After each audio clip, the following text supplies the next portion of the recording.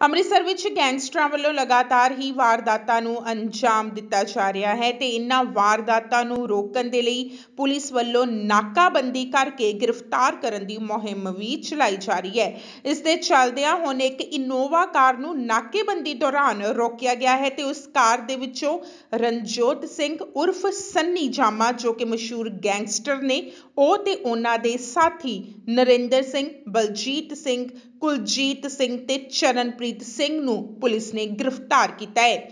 Police ਅਧਿਕਾਰੀਆਂ ਨੇ ਦੱਸਿਆ ਹੈ ਕਿ ਇਹਨਾਂ ਕੋਲੋਂ 32 ਬੋਰ, ਰਿਵਾਲਵਰ, ਵਿਦੇਸ਼ੀ ਤੇ 27 ਜ਼ਿੰਦਾ ਕਾਰਤੂਸ ਵੀ ਮਿਲੇ ਨੇ। ਪੁੱਛਗਿੱਛ ਦੌਰਾਨ ਇਹਨਾਂ ਨੇ ਦੱਸਿਆ ਹੈ ਕਿ ਇਹਨਾਂ ਦੇ ਅਕਸਰ ਹੀ ਝਗੜੇ ਹੁੰਦੇ ਰਹਿੰਦੇ ਨੇ, ਜਿਸ ਕਾਰਨ ਇਹਨਾਂ ਨੇ ਰਿਵਾਲਵਰ ਰੱਖਿਆ ਹੋਇਆ ਹੈ। ਫਿਲਹਾਲ ਪੁਲਿਸ ਵੱਲੋਂ ਮੁਕੱਦਮਾ ਦਰਜ ਕਰਕੇ ਅੱਗੇ ਦੀ ਕਾਰਵਾਈ ਸ਼ੁਰੂ ਕਰ ਦਿੱਤੀ ਗਈ ਹੈ।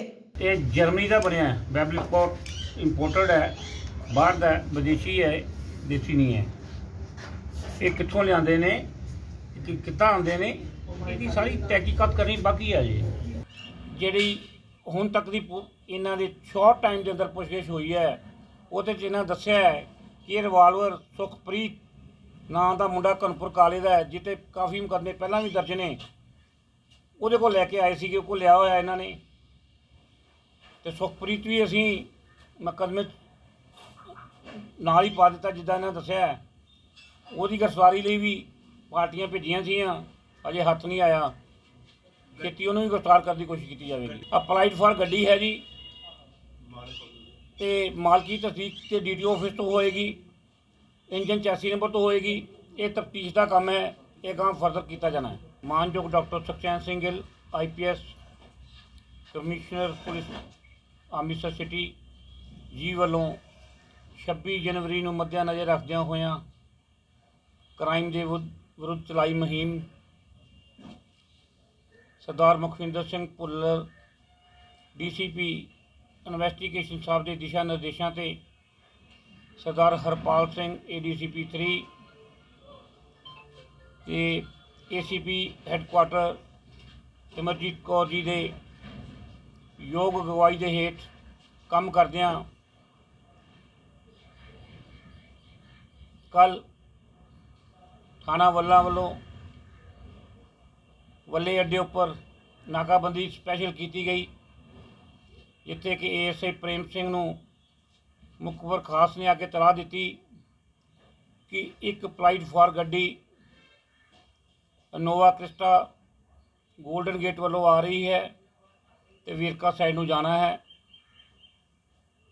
ਜੇਕਰ ਉਸ ਨੂੰ ਖਾਰ ਕੇ, ਕਾਬੂ ਕਰਕੇ ਚੈੱਕ ਕੀਤਾ ਜਾਵੇ ਤੇ ਉਸ ਦੇ ਵਿੱਚੋਂ ਨਜਾਇਜ਼ ਅਸਲਾ ਬਰਾਮਦ ਹੋ ਸਕਦਾ ਹੈ। ਏਐਸਆਈ ਪ੍ਰੇਮ ਸਿੰਘ ਨੇ ਬੜੀ ਹੁਸ਼ਿਆਰੀ ਨਾਲ ਤੇ ਸਮਝਦਾਰੀ ਨਾਲ ਕੰਮ ਲੈਂਦਿਆਂ ਹੋਇਆਂ ਬੈਰੀਕੇਡ ਲਗਵਾ ਕੇ ਫਟਾਫਟ ਨਾਕੇਬੰਦੀ ਕੀਤੀ। ਨਾਕੇਬੰਦੀ ਦੌਰਾਨ ਜਿਹੜੀ ਸੂਚਨਾ ਮਿਲੀ ਸੀ ਉਹਦੇ ਮੁਤਾਬਕ ਉਹੀ ਗੱਡੀ ਤੇ ਉਹੀ ਬੰਦੇ ਆਏ, ਜਿਨ੍ਹਾਂ ਰੁਕਣ ਦਾ ਇਸ਼ਾਰਾ ਕੀਤਾ ਜੋ ਗੱਡੀ ਹੌਲੀ ਕਰਕੇ ਇੱਕਦਮ ਭਜਾਣ ਲੱਗੇ ਤੇ ਇਹਨੇ ਵੀ ਪ੍ਰੇਮ ਸਿੰਘ ਨੇ ਇੱਕਦਮ ਹੀ ਉਹਨਾਂ ਦੇ ਅੱਗੇ ਬੈਰੀਕੇਡ ਕਰ ਦਿੱਤਾ ਤੇ ਗੱਡੀ ਰੋਕ ਲਿਆ ਤੇ ਗੱਡੀ ਸਵਾਰ ਪੰਜ ਬੰਦਿਆਂ ਨੂੰ ਕਾਬੂ ਕੀਤਾ। ਜਿਨ੍ਹਾਂ ਨੂੰ ਵਾਰੋ-ਵਾਰੀ ਨਾ ਪਤਾ ਪੁੱਛਿਆ, ਜਿਨ੍ਹਾਂ ਚੋਂ ਗੱਡੀ ਨੂੰ ਚਾਲਕ ਜਿਹੜਾ ਸੀ ਰਣਜੋਤ ਸਿੰਘ ਏਲੀਅਸ ਸੰਨੀ ਜਾਮਾ, ਪੁਰਾਣਾ ਮਸ਼ਹੂਰ ਗੈਂਗਸਟਰ ਡਰਾਈਵ ਕਰ ਰਿਹਾ ਸੀਗਾ। ਉਸ ਦੇ ਨਾਲ ਦੀ ਸੀਟ ਉੱਪਰ ਬੈਠਾ ਹੋਇਆ ਸੀ ਨਰਿੰਦਰ ਸਿੰਘ। ਤੇ ਮਗਲੀ ਤਿੰਨ ਸੀਟਾਂ, ਜਿਹੜੀ ਮਗਲੀ ਸੀਟ ਹੈ, ਉੱਤੇ ਤਿੰਨ ਬੰਦੇ ਬੈਠੇ ਹੋਏ ਸਨ, ਕੁਲਜੀਤ ਸਿੰਘ, ਬਲਜੀਤ ਸਿੰਘ ਤੇ ਚੰਨਪ੍ਰੀਤ ਸਿੰਘ, ਜੋ ਕਿ ਇਹਨਾਂ ਨੇ ਕਾਨੂੰਨ ਅਨੁਸਾਰ ਕਾਰਵਾਈ ਕਰਦਿਆਂ ਹੋਇਆਂ ਜਦੋਂ ਸੰਨੀ ਜਾਮਾ, ਜਿਹੜਾ ਰਣਜੋਤ ਸਿੰਘ ਅਸਲੀ ਨਾਂ ਹੈ ਜਿਹੜਾ ਪੁਰਾਣਾ ਮਸ਼ਹੂਰ ਗੈਂਗਸਟਰ ਸੀ, ਉਹਦੀ ਸਰਚ ਕੀਤੀ, ਉਹਦੇ ਕੋਲੋਂ ਇੱਕ ਰਿਵਾਲਵਰ 32 ਬੋਰ, ਜਰਮਨੀ ਵਿਦੇਸ਼ ਦਾ ਬਣਿਆ, ਵਿਦੇਸ਼ੀ ਰਿਵਾਲਵਰ ਬਰਾਮਦ ਹੋਇਆ। ਜਦੋਂ ਉਹਨੂੰ ਅਨਲੋਡ ਕੀਤਾ ਤੇ ਉੱਥੋਂ 7 ਗੋਲੀਆਂ ਜਿੰਦਾ ਕਾਰਤੂਸ ਮਿਲੇ। ਆਮ ਤੁਸੀਂ ਰਿਵਾਲਵਰ ਦੇਖਦੇ ਹੋ 6 ਗੋਲੀਆਂ ਵਾਲਾ ਹੁੰਦਾ ਇਹ ਜਰਮਨ ਦਾ ਬਣਿਆ ਵਿਦੇਸ਼ੀ 7 ਗੋਲੀਆਂ ਵਾਲਾ ਰਿਵਾਲਵਰ ਸੀ। ਜੋ ਇਹਨਾਂ ਨੇ ਕਾਨੂੰਨ ਅਨੁਸਾਰ ਕਾਰਵਾਈ ਕੀਤੀ ਤੇ ਜਿਹੜਾ ਉਹਦੇ ਨਾਲ ਨਰਿੰਦਰ ਬੈਠਾ ਸੀ, ਉਹਦੀ ਸਰਚ ਕੀਤੀ ਤੇ ਉਹਦੇ ਕੋਲੋਂ ਇੱਕ ਪੋਚ ਵਿੱਚ 20 ਗੋਲੀਆਂ ਜਿੰਦਾ 32 ਬੋਰ ਬਰਾਮਦ ਹੋਈਆਂ। ਬਾਕੀ ਤਿੰਨ ਜਿਹੜੇ ਬੰਦੇ ਬਨ- ਬੈਠੇ ਸਨ ਉਹਨਾਂ ਦੀ ਸਰਚ ਕੀਤੀ ਪਰ ਉਹਨਾਂ ਕੋਲ ਕੋਈ ਵੀ ਚੀਜ਼ ਬਰਾਮਦ ਨਹੀਂ ਹੋਈ। ਪਰ ਇਹਨਾਂ ਨੇ ਇਹ ਦੱਸਿਆ ਕਿ ਸਾਡੀ ਲੜਾਈ ਝਗੜੇ ਹੁੰਦੇ ਰਹਿੰਦੇ ਨੇ ਅਸੀਂ ਇਸ ਕਰਕੇ ਰੱਖਿਆ ਹੈ।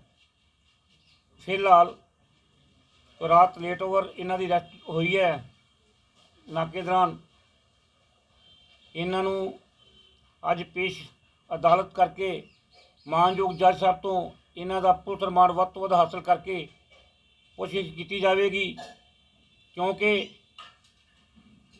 ਸੰਨੀ ਜਾਮੇ ਦੇ ਖਿਲਾਫ ਹੁਣ ਤੱਕ ਜੋ ਪਤਾ ਲੱਗਾ ਕਿ ਕਰੀਬ 12 ਮੁਕੱਦਮੇ ਦਰਜ ਪਹਿਲਾਂ ਹਨ। ਤੇ ਜਿਹੜਾ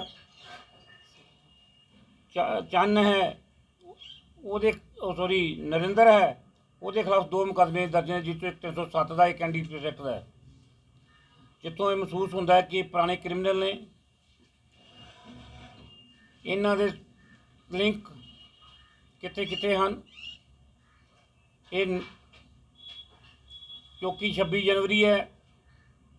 ਆ ਰਹੀ ਹੈ। ਇਹ ਗਰੁੱਪਾਂ ਦਾ ਇਕੱਠੇ ਹੋ ਕੇ ਚੱਲਣਾ ਇਹ ਸੰਕੇਤ ਦਿੰਦਾ ਕਿ ਕੋਈ ਕਿਸੇ ਨਾ ਕਿਸੇ ਵਾਰਦਾਤ ਨੂੰ ਅੰਜਾਮ ਦੇਣ ਜਾ ਰਹੇ ਹੋ ਸਕਦੇ ਨੇ।